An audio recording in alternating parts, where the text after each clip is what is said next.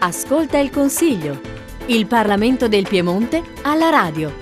Ben ritrovati all'appuntamento radiofonico del Consiglio regionale del Piemonte. I disegni di legge di riforma dell'urbanistica degli enti locali sono stati al centro della ripresa dei lavori del Consiglio regionale dopo la pausa estiva. Per gli enti locali si vuole valorizzare il ruolo centrale del Comune come primo referente nell'erogazione dei servizi ai cittadini e della provincia come ente di gestione delle funzioni di area vasta. Il provvedimento propone anche il superamento delle attuali comunità montane a favore delle unioni di comuni. Sentiamo i due relatori, Davide Gariglio, Partito Democratico. Noi come Partito Democratico garantiremo ai piemontesi che questa legge venga approvata anche in assenza di parte della maggioranza entro i termini utili per permettere ai comuni di adempiere all'esercizio delle loro funzioni. Gianluca Vignale, progettazione. Si è iniziata oggi la discussione e la votazione dei primi articoli della legge di riordino degli enti locali. L'altro aspetto importante trasforma le comunità montane in unioni di comuni montani.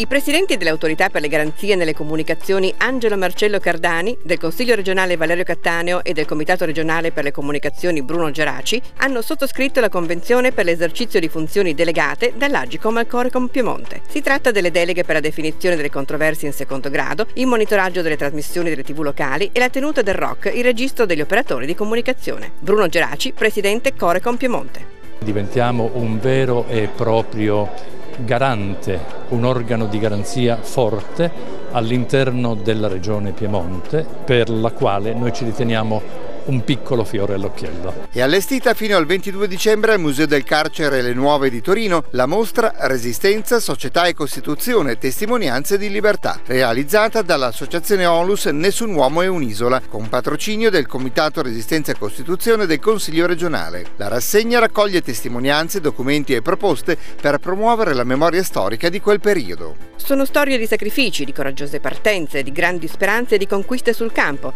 le vicende raccontate da un biglietto biglietto per il futuro, l'emigrazione biellese dal 1880 al 1930, mostra fotografica curata dalla Fondazione Sella Onlus, visitabile fino al 13 ottobre a Palazzo Lascaris. 100 le foto in mostra che raccontano l'emigrazione dal biellese, terra operosa per tradizione. Le proposte della Biblioteca della Regione a Torino. Fino al 13 ottobre è visitabile la mostra Pianeta Urania, con una raccolta di romanzi e riviste di fantascienza che hanno fatto grande la collana editoriale Urania. Le conferenze del mercoledì fino al 10 ottobre sono invece legate al tema della mostra e all'astronomia. E dal Consiglio regionale è tutto, a risentirci la prossima settimana. Ascolta il Consiglio. Il Parlamento del Piemonte alla radio.